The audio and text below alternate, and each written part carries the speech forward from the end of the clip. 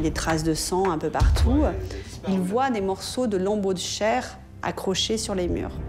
À ce moment-là, Luc Onfray lui aurait expliqué l'inimaginable. 31 octobre 1998, Nice dans les Alpes-Maritimes, il est 8h15. Le téléphone du commissariat central retentit. Il s'agit d'une urgence. On reçoit un appel euh, au commissariat de Nice. Il y a eu euh, un braquage dans la, à la poste de la rue Joffre dans le centre-ville de Nice. Les hommes de la BRB, la brigade de répression du banditisme, arrivent immédiatement sur place. Évidemment, il gèle les lieux, il récupère euh, les employés du bureau de poste, les guichetières. Les témoins qui ont, qui ont été victimes de, de, de, de, ces, de cette équipe sont terrorisés lorsque les policiers arrivent. Selon les témoins, tout s'est passé très rapidement. Les braqueurs sont entrés dans le bureau de poste et ont agi avec une violence extrême. C'est terrifiant. Et la, la, guichetière est jetée par terre, euh, l'arme sur la tête. Euh.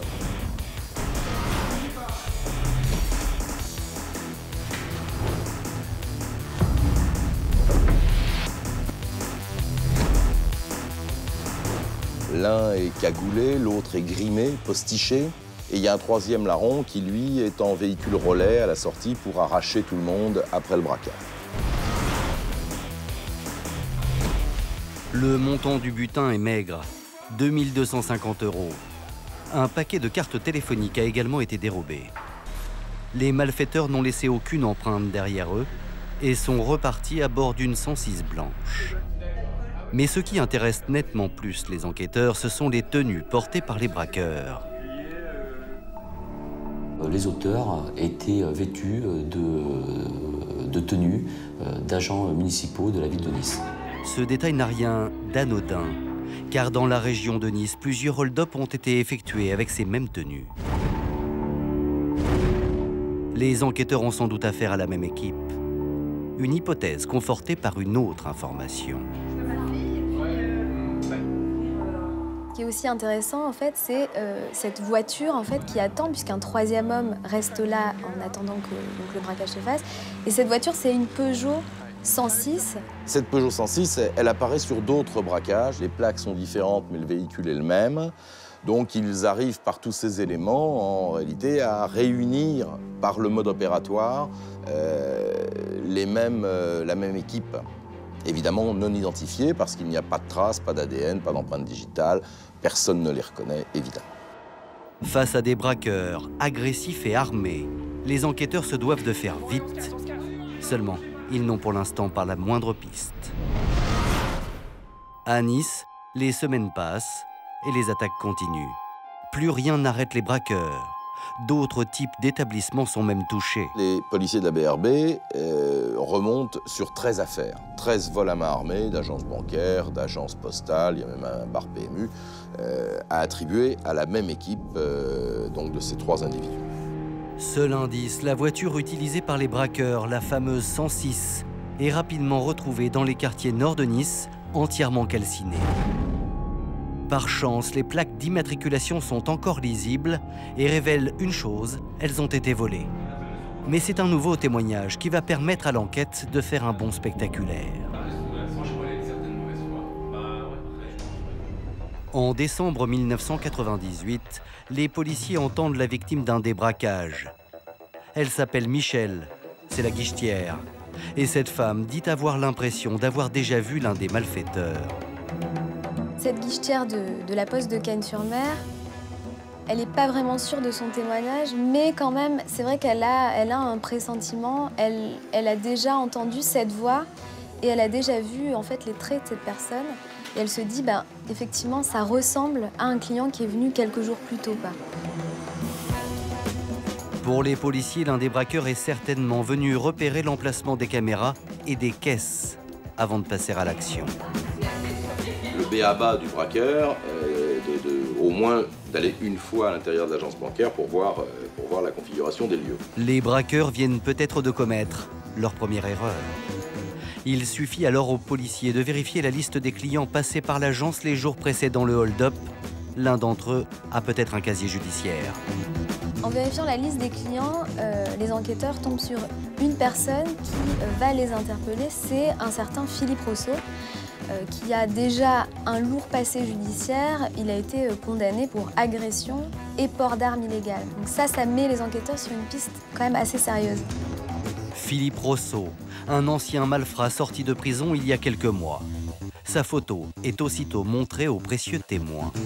Ils vont sortir la photo de Philippe Rousseau, la présenter à la guichetière, en lui demandant est-ce que vous reconnaissez l'homme qui est venu chercher du liquide chez vous? Elle regarde attentivement la photo et, après une courte hésitation, elle se dit je, je crois bien que oui, c'est. Je suis pas formel à 100%. Allez, je suis formel à 80%. Pour les policiers, voici une piste très sérieuse. Ils se renseignent alors sur ce suspect. Et ils se rendent compte que ce Philippe Rousseau, qui a été condamné euh, pour euh, port d'armes illégales et agression et qui vient de sortir de prison, il est domicilié chez sa grand-mère à Cagnes-sur-Mer. À Cagnes-sur-Mer, à deux pas justement de l'une des postes attaquées par la bande. Et les coïncidences ne s'arrêtent pas là. La 106 des braqueurs avait des plaques d'immatriculation volées et pas n'importe où. Les plaques qui ont été utilisées lors des braquages sont des plaques qui ont été cambriolées, euh, récupérées dans des quartiers très proches de chez sa grand-mère et dans Cagnes-sur-Mer, exactement où est domicilié Philippe Rousseau à ce moment-là. Donc c'est vrai que là, il y a, il y a de fortes présomptions sur, sur ce personnage. Pour la première fois, les policiers ont un nom. Et un nom qui peut coller parce que l'individu en question, Philippe Rousseau, est connu des services de police. Et il est connu pour des faits graves. Du coup, ils ont enfin un fil à dérouler. Un fil que les policiers vont exploiter. Philippe Rousseau est mis sur écoute et attentivement surveillé. Ses complices se cachent sans doute parmi ses fréquentations. Des fréquentations plutôt radicales. Philippe Rousseau fait partie de l'extrême droite, mais on va dire la branche dure d'extrême droite. Hein, c'est c'est quand même des gens qui ne sont pas du tout modérés dans, leur, euh, dans leurs idées politiques, dans leurs idéaux, euh, dans la religion aussi. Et parmi ces fréquentations, l'une retient l'attention des enquêteurs. Un certain Luc Onfray. Sur les écoutes téléphoniques, comme lorsqu'on les filme ou lorsqu'on les photographie, eh bien on voit qu'ils sont régulièrement ensemble, qu'ils se voient le week-end, qu'ils passent des, des- soirées ensemble, bref, qu'ils sont toujours très complices. Luc Onfray, 28 ans, est lui aussi un militant d'extrême droite et habite les quartiers nord de Nice, précisément là où a été retrouvée la 106 utilisée par les braqueurs. La coïncidence est troublante. Les hommes de la BRB tiennent peut-être une partie du gang. Seulement sans preuve, impossible d'arrêter ni Onfray ni Rousseau. Alors que les braquages continuent, 5 en deux mois, les téléphones des deux hommes sont toujours sous étroite surveillance. Lors des, surveillances téléphoniques, Onfray et Philippe Rousseau ne, font rien transparaître, n'évoquent pas de braquage. Donc à partir de ce moment-là, euh, les policiers commencent à un peu douter de leur enquête, douter euh, des personnages qui ont été identifiés. Et c'est vrai que là euh, s'installe un, certain doute dans, dans l'enquête, euh, ça patine un petit peu en fait. Mais bientôt, la chance va enfin sourire aux enquêteurs.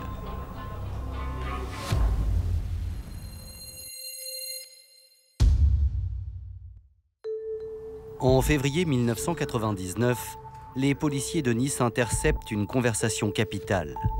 Les deux hommes y parlent d'un futur braquage à Reims, en Champagne. Euh, Philippe Rousseau euh, appelle Luc Onfray et, euh, et lui demande de- d'aller braquer avec lui euh, à Reims euh, une banque et, et un fast-food. Même si lors de cette conversation, Luc Onfray refuse la proposition de Philippe Rousseau, la BRB est désormais certaine que les deux hommes font partie du gang de braqueurs. Cette révélation, hein, euh, finalement, pour les enquêteurs, c'est aussi une récompense parce qu'ils se disent que, ben, après trois mois d'efforts, ils connaissent finalement au moins deux hommes, deux braqueurs récurrents de la région. Les policiers décident alors de tendre un piège à Philippe Rousseau. Ils iront le cueillir à Reims en flagrant délit.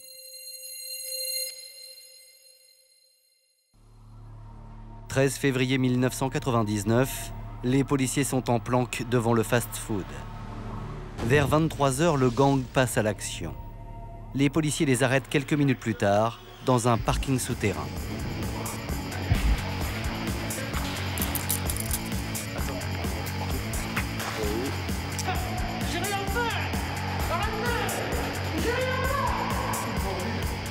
Philippe Rousseau est aussitôt placé en garde à vue. Mais lors de son interrogatoire, son attitude surprend les policiers. C'est vrai que là, tout d'un coup, c'est assez étrange pour un braqueur euh, qui est quand même violent, qui utilise des armes, qu'on pense chevronné. Tout d'un coup, il se met à. Il, se met, euh, il passe aux aveux directement. Philippe Rousseau, très rapidement, va reconnaître les faits. Va reconnaître les faits, euh, une première série de braquages, une deuxième série de braquages. Au total, ce sont 25 braquages que reconnaît Philippe Rousseau. Mais pour l'instant, il reste muet au sujet de ses complices. Au même moment, à Nice, les policiers arrêtent Luc Onfray.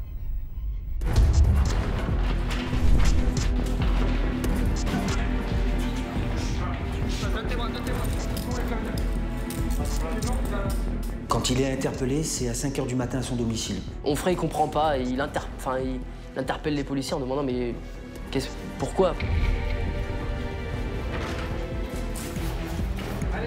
Seulement les hommes de la BRB fouillent l'appartement et tombent sur un véritable arsenal. On retrouve des revolvers, des... de la dynamite, euh, tout un attirail pour, pour faire des braquages en fait, en quelque sorte. hein. Luc Onfray est immédiatement placé en garde à vue.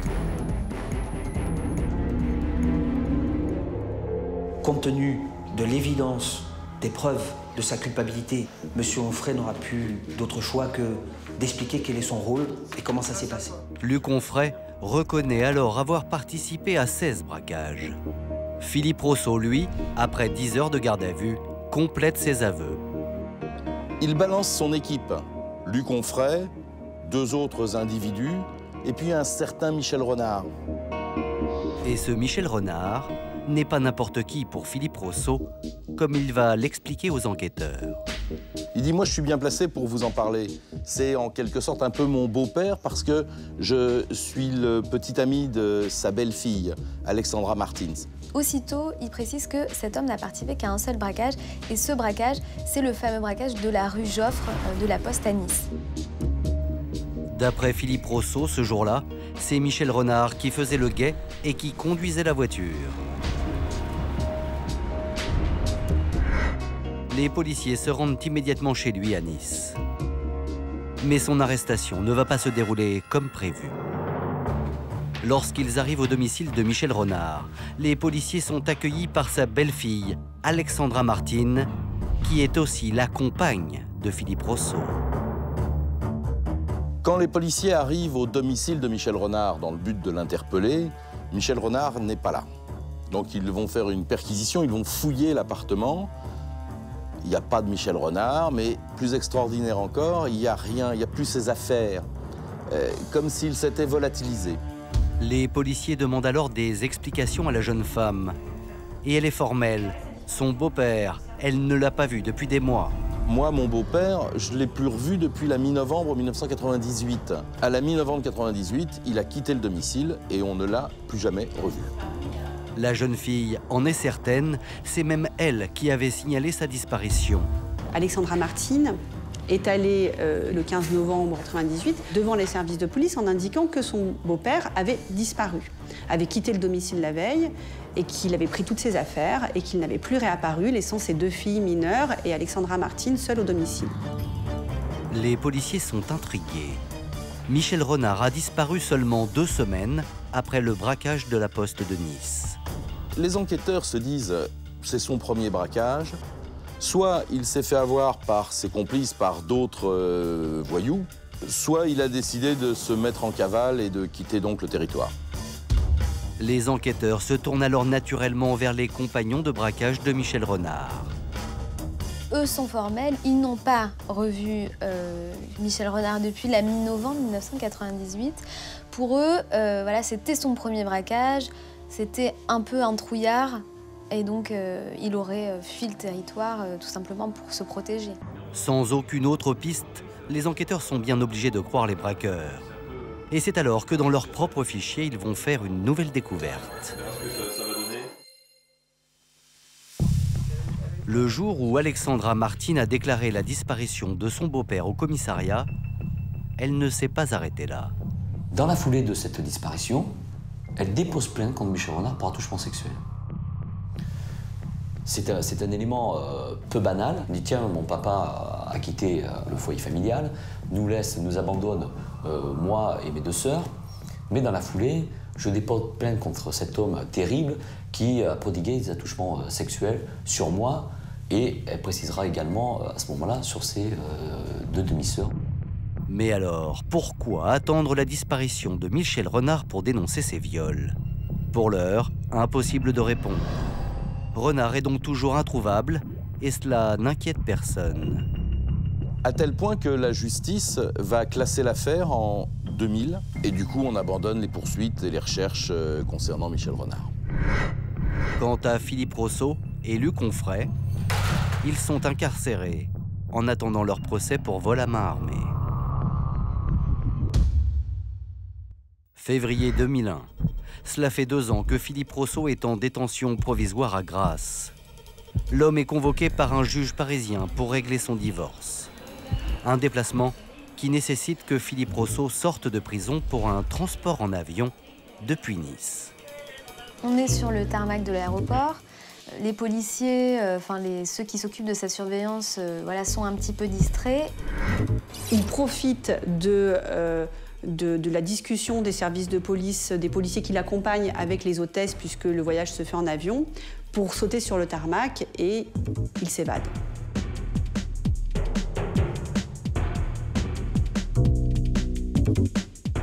À ce moment-là, ça va très vite dans sa tête. Il se dit, il, faut que j'échappe, il faut que j'échappe à tout ça. On peut aussi se demander s'il n'y a pas autre chose que ces hold-up qui lui ont donné envie de partir. Vous voyez, quelque chose de plus grave. Philippe Rousseau aurait-il autre chose à se reprocher? Avec son évasion, il devient l'un des hommes les plus recherchés de la Côte d'Azur. Il va de planque en planque. Il est aux abois, Philippe Rousseau. Et là, bah, il va faire ce qu'il sait faire, c'est-à-dire des braquages. Et il va commettre une dizaine de vols à marmée. Des braquages qui vont même finir par le faire tomber. Après trois mois de cavale, l'homme est à nouveau arrêté en flagrant délit. Bientôt, il devra répondre de ses actes devant une cour d'assises, un procès qui pourrait bien faire basculer une banale affaire de braquage en une affaire criminelle hors du commun. 14 mars 2002, c'est le procès du gang des braqueurs de Nice. Rousseau et Onfray sont jugés pour une trentaine de braquages, mais dans le box des accusés, il manque pourtant quelqu'un. À ce procès, c'est vrai qu'il y a deux choses qui ressortent, c'est Philippe Rousseau, l'instigateur, celui qui était au braquage, et l'absence de Michel Renard. On n'en sait pas plus. Qu'est-ce qu'il est devenu? On ne sait pas. À l'issue du procès, Luc Onfray est condamné à 11 années de réclusion. Philippe Rousseau à 32 ans. Michel Renard, jugé par contumace, est condamné à 20 ans de prison pour sa participation au braquage de la poste de Nice. Il est officiellement en fuite. Mais c'est l'actualité quelques mois plus tard qui va relancer l'enquête sur sa disparition.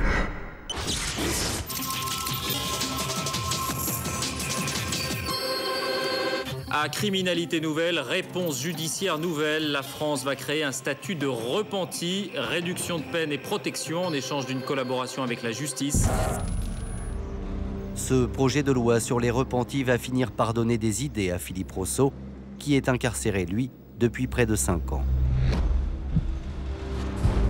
Monsieur Rousseau peut demander des remises de peine. Pour ça, il faut qu'il avoue des faits.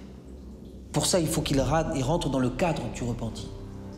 Pour ça, il faut qu'il dise à la justice, regardez, je vous ai apporté des faits, grâce à moi, vous pouvez les juger, libérez-moi. Il écrit une lettre euh, au procureur de la République dans laquelle il va faire des révélations fracassantes. Il va faire un récit détaillé expliquant comment Michel Renard a été assassiné à son domicile par une personne qui nomme le boucher, qui n'est autre que Luc Onfray. Luc Onfray, surnommé le boucher, aurait donc tué Michel Renard. L'information est à peine croyable. Les gendarmes de la brigade de recherche de Nice vont immédiatement entendre Philippe Rousseau en prison. Face à eux, l'homme commence à raconter. Tout aurait commencé en 1998 par une discussion qu'il aurait eue avec Alexandra, sa petite amie de l'époque. Alexandra Martine va lui faire des confidences sur son beau-père. Elle va lui dire qu'elle a été victime de violences, euh, d'agressions sexuelles et que ses petites sœurs également ont été victimes. Elle parle très rapidement de, euh, du souhait de faire disparaître son beau-père. Elle le dira, je souhaite sa mort, je veux le voir disparaître. Philippe Rousseau raconte aux gendarmes qu'il aurait refusé d'exécuter Renard. Et il dit à Alexandra, non, je n'ai pas l'intention de tuer ou de trouver quelqu'un pour, pour tuer euh, euh, Michel Renard. En revanche, je vais lui donner une correction. Philippe Rousseau aurait donc décidé de trouver un complice pour l'aider. Un certain Luc Onfray. Il lui fait part qu'il a un ami digne de confiance à qui il va en parler. Cet ami est son meilleur ami du moment, qui est donc euh, Luc Onfray, et qui va pouvoir euh, l'aider dans son entreprise pour mettre une correction donc à, à Michel Renard. Seulement, au moment d'infliger cette correction, Philippe Rousseau raconte que les choses ont dégénéré. Luc Onfray aurait abattu Michel Renard. Les gendarmes sont méfiants. Et si Philippe Rousseau avait tout inventé pour obtenir une remise de peine? On se dit, attention, est-ce que c'est pas, c'est pas des affabulations euh, Quelle crédibilité on peut accorder à ce garçon-là? C'est quand même un personnage important de la, la- euh, niçoise, hein, euh, parce que quand même, euh, trentaine de vols à main armée, euh, c'est pas rien, hein, c'est pas donné à tout le monde. Dans cette affaire, il n'y a pas de preuves matérielles, il n'y a pas de cadavre, on a seulement des aveux de Philippe Rousseau qui viennent six ans après les faits. Mais comme il est d'usage, Luc Onfray est entendu à son tour. Et il va toujours être dans cette situation de défense, de dire je n'ai rien fait, Luc euh, Philippe Rousseau invente absolument tout, je n'y suis pour rien. Luc Onfray nie tout en bloc. Alors, qui dit vrai? Il faudra attendre plus de quatre années pour découvrir la vérité. Février 2008, Luc Onfray bénéficie d'une libération conditionnelle. Ce qu'il ignore, c'est qu'il est observé. Les gendarmes ne vont pas le lâcher d'une semelle. Leur objectif, savoir si Philippe Rousseau a dit vrai. Luc Onfray a 42 ans, il vient de sortir de prison. Donc c'est le moment pour les enquêteurs de le surveiller un petit peu et voir si éventuellement on ne pourrait pas avoir d'autres éléments sur, sur ces fameuses révélations euh, de Philippe Rousseau. Donc ils vont décider de le suivre et de, de regarder un petit peu euh, au niveau de, de ses appels téléphoniques, euh, de voir l'entourage de Luc Onfray. Les semaines de surveillance se succèdent en vain. Luc Onfray semble avoir repris une vie rangée. Et il commence à se réinsérer. Vous avez un homme qui se dit voilà, j'ai purgé ma peine, j'ai bénéficié d'une libération conditionnelle. Aujourd'hui, il faut que je demande à mes amis, à ceux qui m'ont connu, de me trouver un travail. Onfray, à sa sortie de prison, il se passe rien d'extraordinaire dans sa vie. Il est devenu paysagiste, euh, il s'occupe d'espaces verts. euh, Il fréquente une jeune femme assidûment. Il va à l'opéra. On est vraiment très loin de l'affreux braqueur des années 98. Et surtout, on est loin du criminel décrit par Philippe Rousseau, celui qu'il avait surnommé le boucher. Les gendarmes sont gagnés par de sérieux doutes. C'est qu'on se dit, bon, euh, quand même, euh, il sort, euh, il a l'air de- d'être assez calme, de vivre une vie tout à fait normale. Il occupe un studio euh, chez sa maman. Est-ce que finalement, euh, Philippe Rousseau euh, n'a pas extrapolé, n'a pas exagéré dans ses, dans ses révélations? Philippe Rousseau a-t-il tout simplement menti? Pour en avoir le cœur net, les gendarmes vont passer l'appartement de Philippe Rousseau, scène supposée du crime, au peigne fin à la recherche d'indices. On se dit qu'est-ce qui peut être intéressant dans un premier temps? Les constatations dans l'appartement de euh, Philippe Rousseau, même dix ans après. On va pas s'en priver. Dix ans après les faits, l'ancien appartement de Philippe Rousseau, rue d'Abray, recèle-t-il encore des traces du meurtre supposé de Michel Renard? L'appartement de Philippe Rousseau a été évidemment reloué depuis des années et du coup on risque de ne pas trouver grand-chose. En revanche, il reste un procédé, c'est le luminol, qui lui permet de retrouver des traces de sang même très anciennes. Les experts de la gendarmerie passent alors l'appartement au luminol. Et après quelques instants, Le résultat est stupéfiant. Il y a bien des projections et des coulures de sang dans presque toutes les pièces.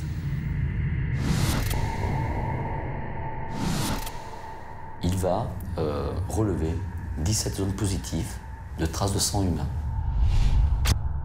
Notamment euh, la cuisine, la salle de bain et la chambre. Vu la quantité de sang détecté, les gendarmes sont désormais convaincus qu'un meurtre particulièrement sanglant s'est déroulé dans cet appartement.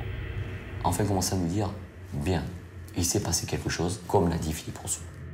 Mais s'agit-il vraiment du sang de Michel Renard? Impossible de répondre. Euh, le problème, c'est que dix ans après, une salle de bain s'est lavée régulièrement avec des produits quand même assez agressifs. On va se retrouver avec peu de matière, beaucoup de traces, mais peu de matière. Et une matière pas assez riche. Pas assez riche, pourquoi? Pour tout simplement extraire un profil ADN. Mais à qui appartient donc ce sang trouvé dans l'appartement? Les enquêteurs ne vont pourtant pas tarder à le découvrir. «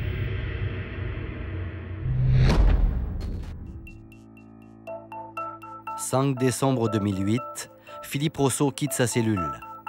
Détenu modèle, il a obtenu une permission de sortie de trois mois pour aller travailler sur un chantier. Et comme les gendarmes l'avaient prévu dès sa sortie, l'homme en profite pour appeler Alexandra. Rien n'est laissé au hasard. La jeune femme a été placée sur écoute téléphonique. Alexandra Martin, c'est quand même sa petite amie. Même si plus de 10 ans sont passés, lui, il est resté 99.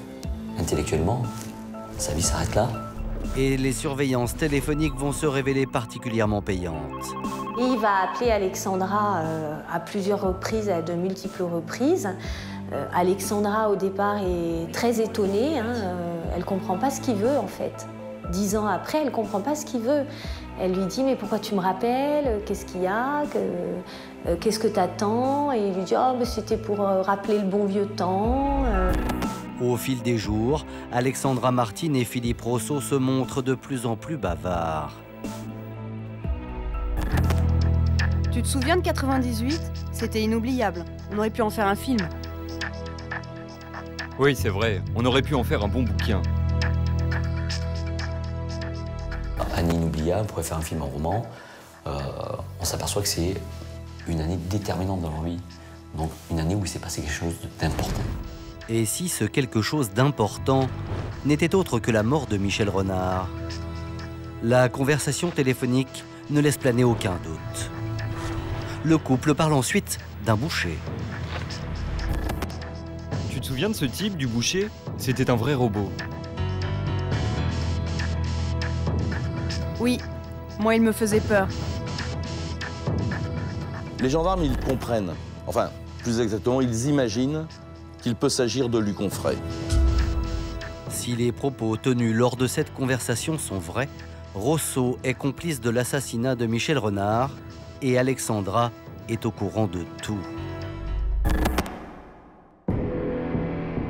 3 février 2009. Le juge décide d'entendre à nouveau Philippe Rousseau, quatre ans après ses révélations. Face au magistrat, l'homme se dit soulagé. Il passe à nouveau aux aveux. Ce que dit euh, Philippe Rousseau finalement, c'est qu'il a des remords, qu'il a passé des années en prison et qu'il a envie que la vérité éclate justement pour, euh, pour la famille et pour soulager aussi euh, les petites filles de Michel Renard pour qu'elles sachent la vérité. Et voici l'incroyable récit que fait l'homme aux enquêteurs. Tout commence lorsque Rousseau décide de venger sa petite amie, Alexandra Martine, victime des attouchements de son beau-père. Avec l'aide de son ami Luc Onfray, il veut infliger une correction à Michel Renard. Première étape, trouver un prétexte pour l'approcher. Pour attirer Michel Renard, c'est pas très compliqué. Ils lui ont proposé de faire un braquage. Il avait des problèmes d'argent et donc il a accepté. Le 14 novembre 1998, il est 5 heures du matin au domicile de Michel Renard. Sa belle-fille, Alexandra, lui prépare un café au goût particulièrement amer. Alexandra lui a mis euh, des somnifères dans le café le fameux samedi matin où il part.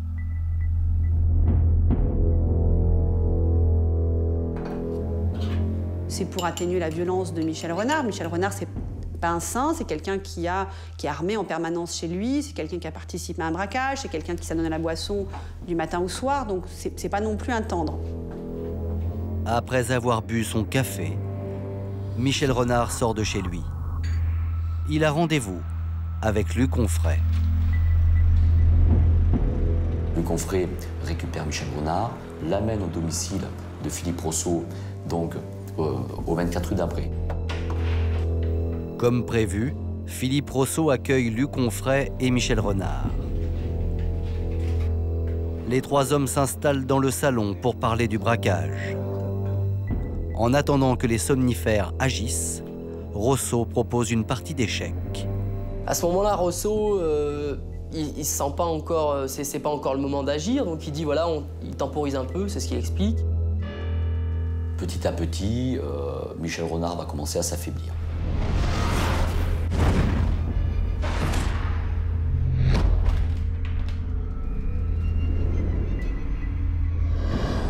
Selon Philippe Rousseau, c'est à ce moment-là que Luc Onfray aurait brusquement décidé d'éliminer Michel Renard. Onfray lui dit une correction, ça suffit pas. Une correction, ça suffit pas, mais ne t'inquiète pas, moi je vais m'en occuper. Sur le coup, Philippe Rousseau n'y croit pas et sort comme si de rien n'était acheter des croissants. Mais à son retour, vers 6 heures du matin, il découvre une scène digne d'un film d'horreur. Il revient, et là, il voit le corps de Michel Renard allongé, euh, la tête euh, dans un sac plastique avec des traces de sang. Et là, euh, Luc Onfray lui dit c'est fini. Là, à partir de ce moment-là, c'est la panique. C'est la panique totale parce que ce qu'il craignait et ce qu'il n'avait osé euh, imaginer, c'est passé. Toujours selon Philippe Rousseau, Luc Onfray aurait tué Michel Renard à coups de marteau. Là, euh, Luc Onfray va lui dire Ne t'inquiète pas, je m'occupe de tout. Laisse-moi faire, je vais me débarrasser du corps. Tu me laisses tout seul, tu me laisses le week-end, j'en ai pour deux jours, je m'occupe du reste.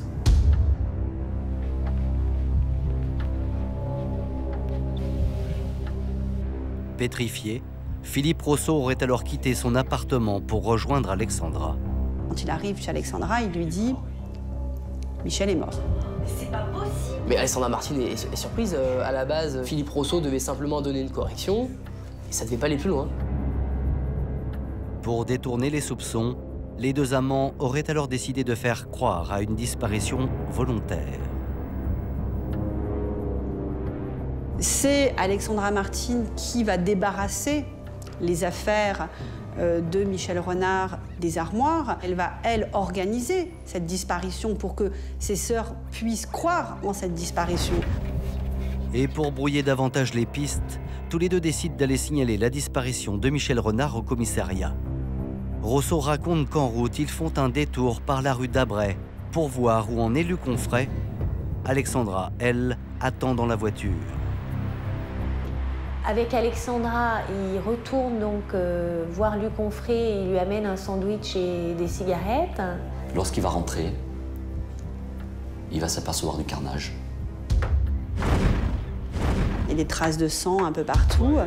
Il voit des morceaux de lambeaux de chair accrochés sur les murs.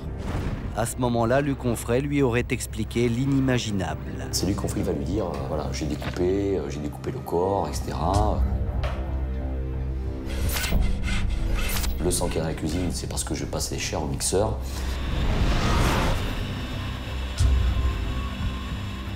Et ensuite, ces chairs mixées sont évacuées euh, par les toilettes. euh. Quant aux os qui ne passaient pas au mixeur, Luc Onfray les aurait mis dans des sacs avant de les disperser dans des poubelles aux quatre coins de la ville. Devant le juge médusé, Philippe Rousseau explique qu'en découvrant le carnage, il a totalement paniqué et s'est enfui. Et s'il n'a pas dénoncé Luc Onfray, c'est qu'il était terrifié. À ce moment-là, il a eu peur pour lui-même aussi. Il s'est dit, euh, oula, euh, est-ce que Luc Onfray ne va pas s'occuper de moi maintenant? Face à ce témoignage incroyable, les enquêteurs se posent de nombreuses questions. D'après Philippe Rousseau, Luc Onfray est le tueur et Alexandra l'instigatrice. Mais lui, Quel est son rôle au juste? On peut se demander si Philippe Rousseau n'est pas plus impliqué que ce qu'il veut bien admettre euh, ou prétendre. Philippe Rousseau dénonce les faits, mais euh, semble minimiser fortement sa participation à ces derniers. Une chose est néanmoins certaine. Sans les dénonciations de Philippe Rousseau, Michel Renard serait toujours un simple disparu. Pour en savoir plus, les enquêteurs décident de confronter Luc Onfray et Alexandra Martine à ces déclarations.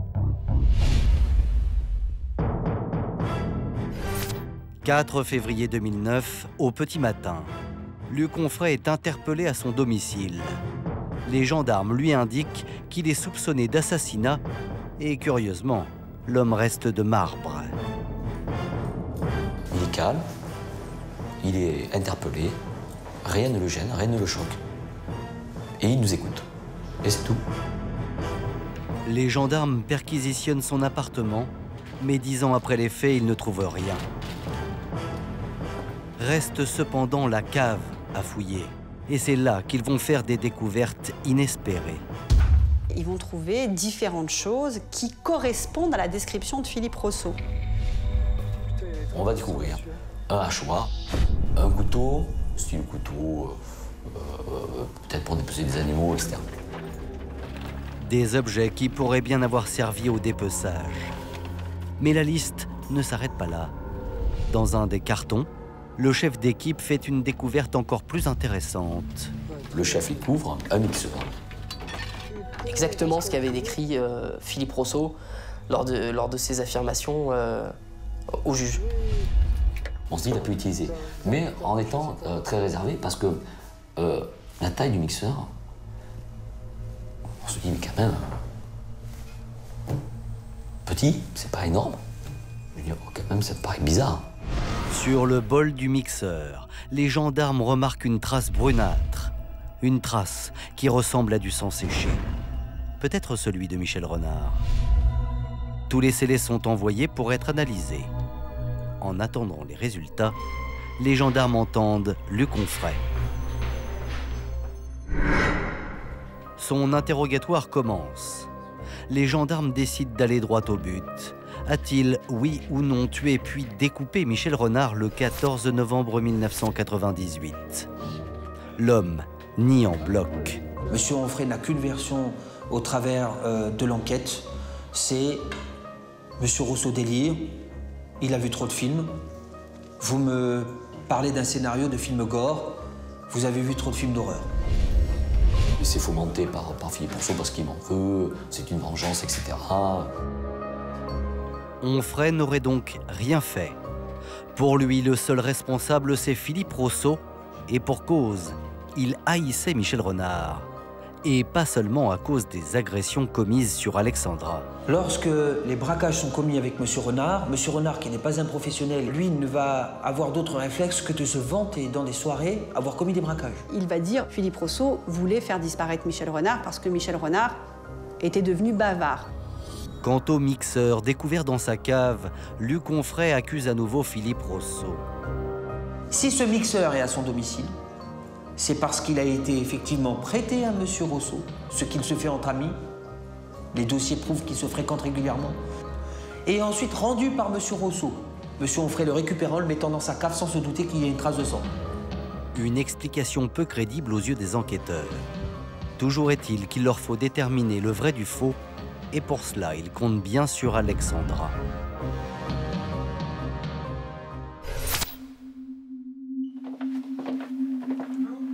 Dans un bureau voisin, Alexandra Martin est interrogée. Et même dix ans après, la jeune femme comprend très vite les raisons de sa présence. Elle craque immédiatement devant les enquêteurs.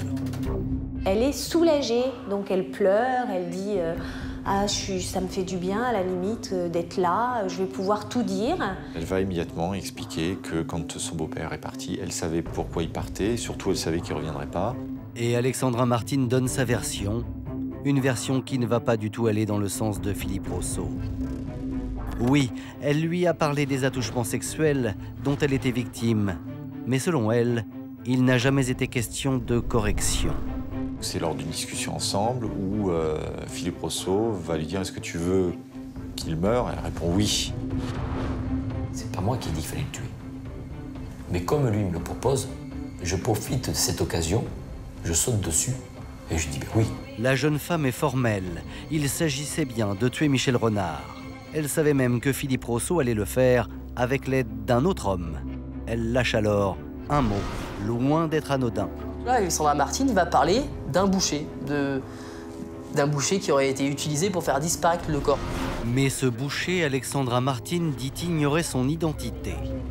À ce stade, difficile pour les enquêteurs de se prononcer sur le rôle exact de chacun. On se dit quand même on a ça. Cette fois-ci, on sait qu'il est mort. On sait qu'il y a deux acteurs sûrs. Philippe Rousseau, Alexandre Martin. Ça, c'est avéré par leur déclaration maintenant. Et la triangulaire se fait parce qu'on a Rousseau qui accuse, Alexandre Martin qui avoue sans avouer, et Onfray qui a des objets compromettants chez lui. Voilà la donne. À l'issue de ces gardes à vue, Luc Onfray est mis en examen pour assassinat. Alexandra Martine et Philippe Rousseau ne sont accusés que de complicité, du moins pour l'instant.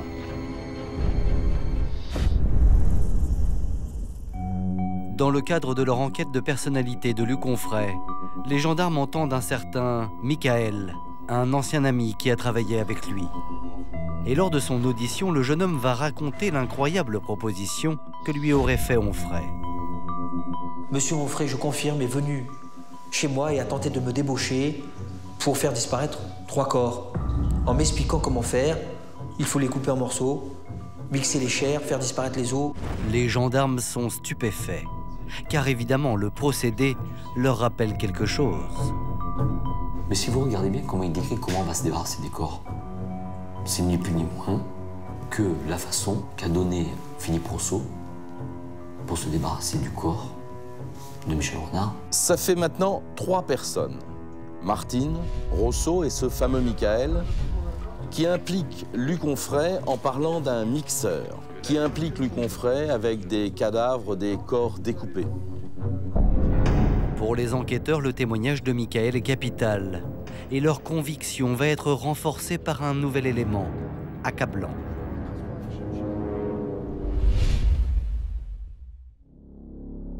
Les résultats des analyses effectuées sur le mixeur retrouvé dans la cave de Luc Onfray viennent de tomber. Ces traces brunâtres ont été analysées. Il s'agit du sang de Michel Renard. C'est un formidable coup d'accélérateur à l'enquête. Parce que je vous rappelle que le mixeur a été retrouvé dans la cave de Luc Onfray, même si ce dernier prétend qu'il l'a prêté à Philippe Rousseau. C'est la première fois qu'on a un élément incontournable dans cette affaire. Le juge convoque à nouveau Luc Onfray. En apprenant les résultats des analyses ADN, l'homme confirme sa première version. Ce mixeur, en fait, je l'ai prêté à Philippe Rousseau et d'ailleurs, il me l'avait rendu la veille ou l'avant-veille de notre arrestation en février 99. Tout d'un coup, la mémoire lui revient, il n'avait jamais parlé de cette date-là. Luc Onfray, qui euh, euh, bizarrement a euh, des problèmes de mémoire très réguliers, c'est le seul moment où il veut avoir une mémoire d'éléphant. Luc Onfray est-il l'unique auteur de l'assassinat de Michel Renard? Philippe Rousseau est-il un simple complice? Et Alexandra est-elle l'instigatrice de la mort de son beau-père C'est désormais le procès qui devra apporter les réponses à ces questions. Un procès qui va s'ouvrir par un incroyable coup de théâtre. 16 janvier 2012, cour d'assises de Nice. Plus de 13 ans après les faits, le procès des assassins de Michel Renard peut enfin commencer. Sur le banc des accusés, Alexandra Martine et Philippe Rousseau comparaissent libres pour complicité d'assassinat. Quant à Luc Onfray, celui que la presse surnomme le tueur au mixeur, il se tient derrière la vitre du box des accusés. Les filles de Michel Renard sont présentes, elles sont bouleversées. Mes clientes sont en pleurs parce que euh, pour la première fois depuis euh, dix ans, euh, elles espèrent qu'elles vont apprendre la vérité Dans la salle, avant même l'ouverture de l'audience, tous les regards se tournent vers la table des pièces à conviction. Et au milieu des scellés se trouve le fameux mixeur ayant servi à faire disparaître le corps de Michel Renard. Quand euh, le mixeur était posé sur la table, tout le monde a eu un mouvement de recul. C'est étonnant, hein même certains jurés, on les a vus un petit peu reculer sur, sur la chaise. Ça, c'est assez impressionnant. Avant d'aborder les faits, la présidente donne la parole aux accusés. Alexandra Martine et Philippe Rousseau déclinent leur identité. Quand vient le tour de Luc Onfray, l'homme se lève et fait d'incroyables révélations. Luc Onfray, euh, dans le box des accusés, euh, il se tient euh, voilà, sur les vitres du box et là, avec son micro, face à la présidente, il avoue C'est bien moi qui ai fait disparaître le corps. C'est bien moi qui, qui l'ai découpé. C'est bien moi qui l'ai dépecé. Silence dans la salle. Les personnes témoins de cette audience, comme les intervenants, sont stupéfaites. Après 13 ans de silence, Luc Onfray a décidé de tout révéler. L'homme décrit même point par point le découpage du corps de Michel Renard. Les mots sont crus, euh, voilà, il y, a un certain dégoût finalement euh, qui ressort de, de cette description morbide et d'autant plus que lui reste totalement impassible il va aller très très loin dans les détails. Hein. Il va expliquer qu'il découpait au cutter ou, euh, à la scie euh, des morceaux, des os, des tendons. C'était assez glaçant. Hein. Quant au mixeur, Luc Onfray jure qu'il s'en est à peine servi. Il va indiquer que le mixeur, oui, euh, il était là, oui, il a tenté de broyer certaines chairs avec, mais que ça n'a pas fonctionné et que le corps a bien été dépecé, mais qu'ensuite euh, le corps a été placé dans des sacs et ensuite jeté dans des poubelles. Après avoir décrit et assumé l'impensable, Luc Onfray décide qu'il ne tombera pas seul. Selon lui, ce meurtre, il ne l'a jamais souhaité, ni même programmé. Le responsable, c'est Philippe Rousseau. Il ne va pas laisser Philippe Rousseau s'en sortir. Donc il va accuser Philippe Rousseau. Et il va accuser Philippe Rousseau en indiquant Philippe Rousseau était là. Philippe Rousseau a étranglé Michel Renard. Il va dire, euh, voilà, euh, Philippe Rousseau venait de l'étrangler. Et euh, une fois par terre, il m'a dit, il m'a dit de, lui donner un dernier coup de marteau pour voir s'il était bien mort. Tous les yeux se tournent alors vers Philippe Rousseau. Appelé à la barre, l'homme jure qu'il n'a pas tué Michel Renard. Mais personne ne semble y croire. Mon seul tort, c'est de ne pas avoir pu empêcher le crime. Mon seul tort, c'est de ne pas m'être douté que ça tournerait mal. Mon seul tort, c'est d'avoir voulu une correction. Mon seul tort, c'est de ne pas avoir dénoncé les faits plus tôt. Philippe Rousseau a bien du mal à justifier sa version de la correction qui a mal tourné.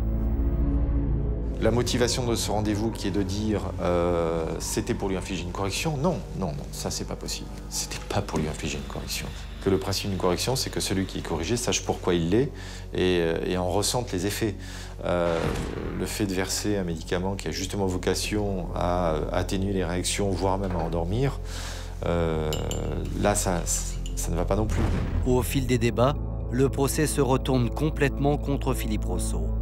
Même le mobile du meurtre semble avoir évolué. Il n'aurait pas seulement comme origine les agressions sexuelles commises sur Alexandra. Le mobile du crime n'est pas du tout celui que euh, veut bien nous vendre Philippe Rousseau. Et que euh, ce n'est autre qu'un mobile crapuleux. Euh, Monsieur Rousseau était furieux contre Monsieur Renard, qui se vante en soirée. Vous avez un chef de gang qui voit un de ses lieutenants nouveaux intronisé aller dans les soirées et dire Regardez, c'est moi sur le journal, c'est moi qui ai fait ces braquages. Dans son réquisitoire, l'avocat général présente Philippe Rousseau comme le cerveau de l'assassinat de Michel Renard.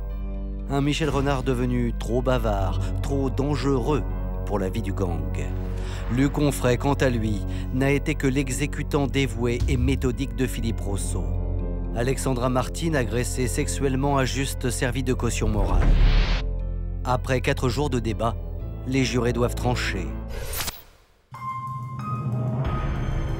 Jeudi 19 janvier 2012, c'est l'heure du verdict. Philippe Rousseau est condamné à 28 ans de réclusion criminelle pour avoir commandité et organisé la mort de Michel Renard. Il trouve cette peine injuste euh, parce qu'il est sorti de prison il n'y a pas longtemps, donc y retourner, euh, c'est difficile pour lui. Et surtout parce que voilà, il a eu une attitude, euh, quoi qu'on ait pu en dire, il a eu une attitude de, repentir et une véritable prise de conscience. Et aujourd'hui, cette prise de conscience et ce repentir n'est absolument pas, on n'a pas tenu compte devant la cour d'assises. Luc Onfray, lui, est condamné à 30 ans de prison pour l'assassinat de Michel Renard. Alexandra Martine bénéficie quant à elle de la clémence de la Cour, 5 années avec sursis. C'est la réalité, c'est-à-dire qu'elle est peut-être complice d'assassinat, mais en même temps, elle a toujours été omniprésente pour ses sœurs. Et ce qui s'est passé, elle l'a fait pour elle, mais aussi pour ses sœurs, pour les protéger. Il ne faut pas l'oublier. Ironie du sort, les aveux de Philippe Rousseau se sont finalement retournés contre lui. Sans ces révélations, la mort de Michel Renard n'aurait jamais été élucidée.